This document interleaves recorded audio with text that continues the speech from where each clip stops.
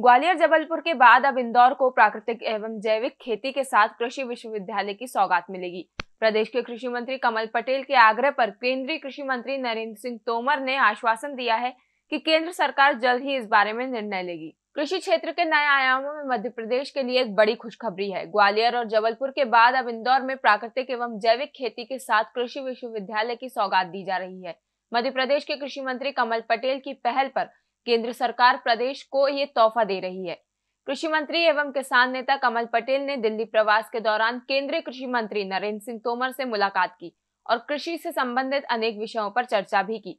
इस दौरान पटेल ने कृषि महाविद्यालय इंदौर को जैविक एवं प्राकृतिक खेती के साथ विश्वविद्यालय बनाने के लिए पत्र देकर आग्रह किया, जिसके बाद मंत्री पटेल के आग्रह पर केंद्रीय मंत्री नरेंद्र सिंह तोमर ने आश्वासन दिया कि शीघ्र ही इस दिशा में केंद्र सरकार निर्णय लेगी।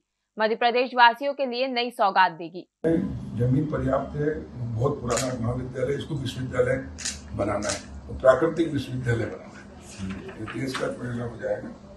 आपका आशीर्वाद चाहिए इसका ये समिति बनवा दी। इसकी उचित कर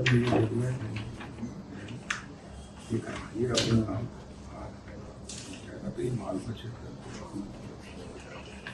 वो खबरें जो आपके काम की है।